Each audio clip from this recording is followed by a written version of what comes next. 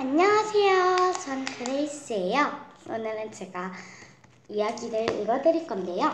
새끼주가 역전.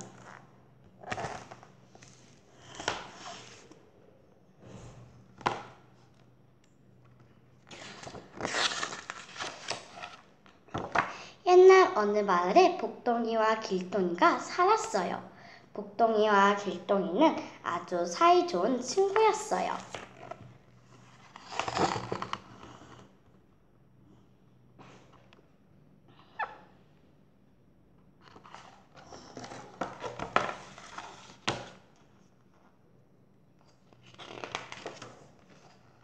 하지만 둘은 다 집이 무척 가난했어요. 먹을 것이 없어 굶기를 밥 먹듯이 했지요. 그래서 복동이와 길동이는 일을 해서 돈을 벌겠다고 생각을 했어요.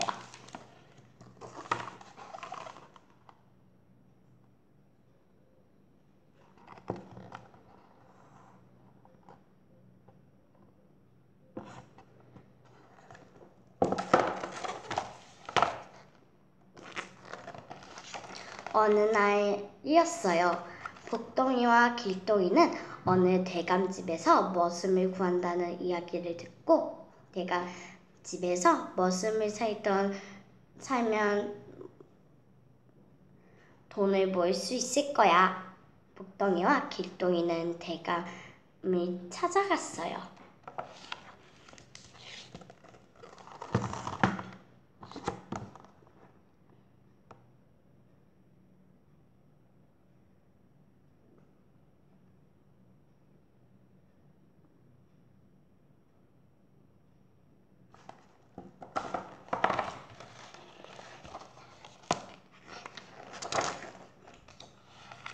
대감은 복동이와 길동이가 아직 어린 것을 보고 말했어요.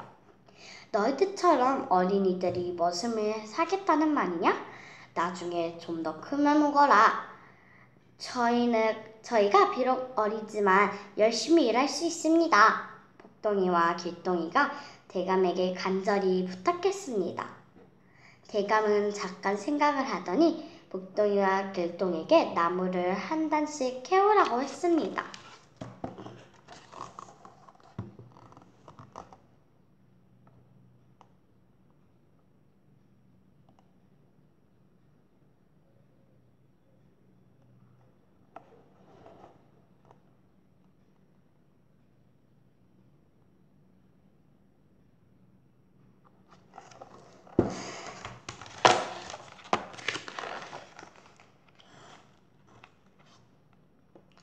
복동이와 길동이는 나무단을 지게 지고 돌아왔어요. 대감은 꼼꼼히 나무단을 살펴보았어요. 하나 같이 쭉 고르고 알맞게 마른 나무들이었어요.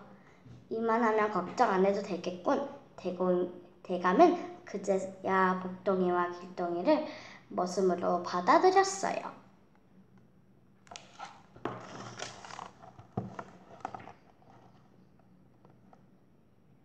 얘가 뭔가 복동이고 얘가 아니 뭔가 얘가 복동이고 얘가 뭔가 길동이 같네요. 맞을지 안 맞을지는 저도 모르겠어요.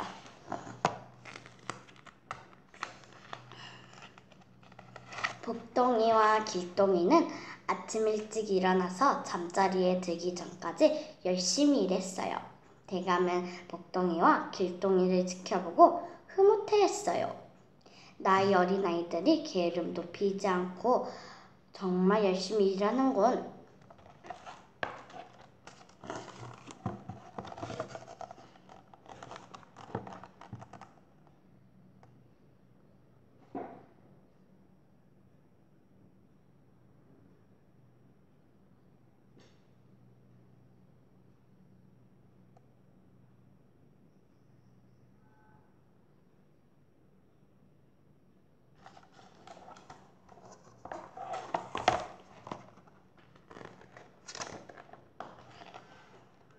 어느덧 시간이 흘러 복동이와 길동이가 머슴살이를 끝내고 집으로 돌아갈 때가 되었어요. 대감은 대감이 복동이와 길동이를 불러 말했어요. 그동안 열심히 일해주어서 정말 고맙단다. 오늘 저녁에 새끼줄을 꼬아놓고 내일 아침에 떠나지 않겠느냐?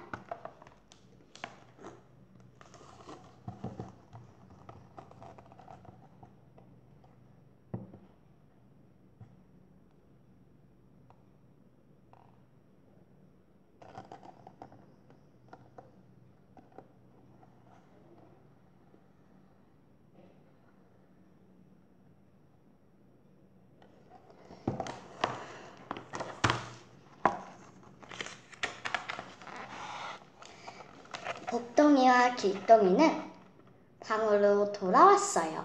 쳇! 가는 날까지 부려먹는 것. 난 새, 난데없이 새끼 줄이 뭐야? 길동이가 투덜거렸어요. 하지만 복동이가 길동이를 달랬어요. 네, 제가 말한 게 맞네요. 우리가 어려, 어려울 때 도와주신 고마운 분이잖아. 그러니까 우리가 끝까지 잘해드리자. 난 그럴 생각 없으니 너나 해라. 너나 해. 길동이는 혼자서 밖으로 나가버렸어요.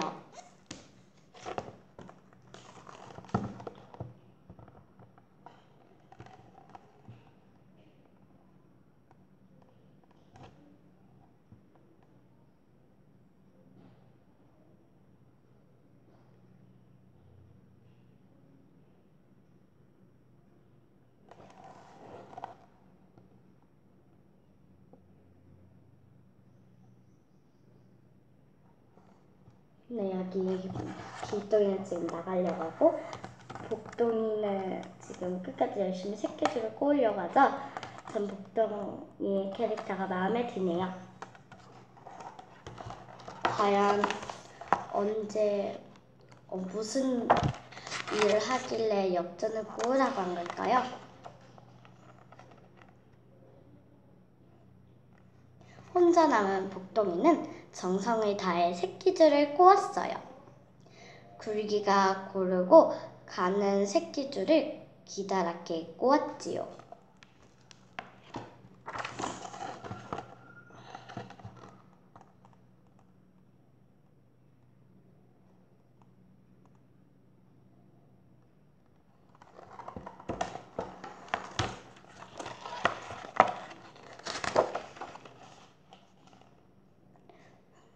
길동이가 밤늦게 돌아와 보니 복동이는 이미 새끼줄을 다 꼬아놓고 잠이 들어 있었어요.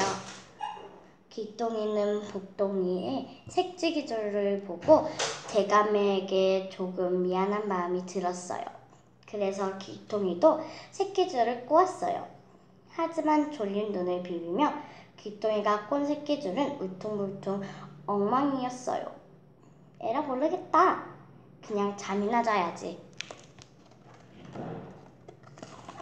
여기 복동이 새끼줄 아주 가늘고 예쁘네요. 삐져나오지도 않고. 근데 어제 길동이는 이렇게 두껍게 울퉁불퉁하게 꼬았네요.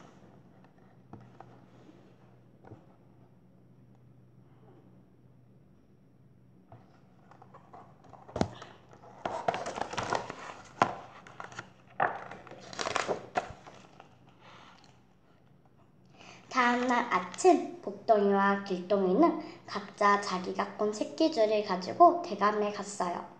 수고했다. 그 새끼줄을 들고 나를 따라오너라.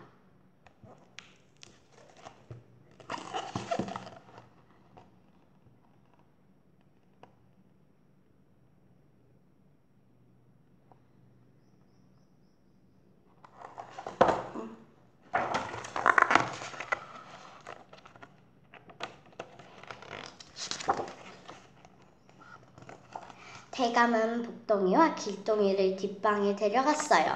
뒷방에는 엽전이 가득했어요.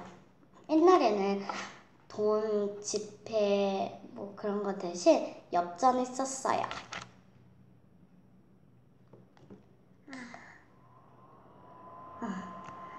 너희들이 들고 있는 새끼줄 의 엽전을 마음껏 끼어가거라. 그동안 너희가 성실하게 일해 대가로 내가 주는 선물이라. 선물이야. 아니, 선물이니라. 복덩이와 길동이는 의아했지요. 무엇을 하고 있느냐? 어서 역정을 깨지 않고.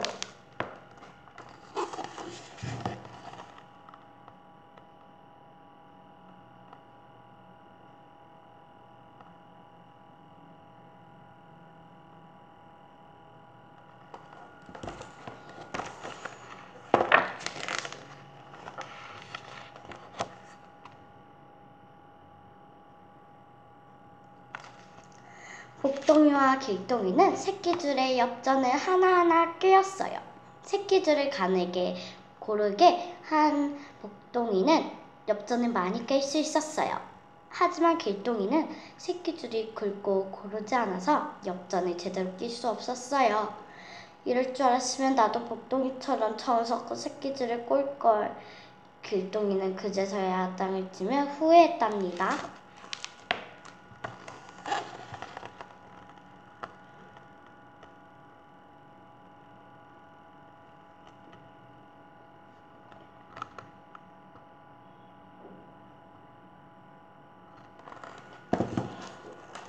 네, 그 이건 이렇게 이렇게.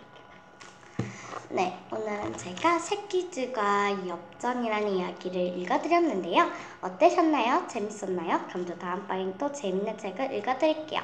그러면 안녕!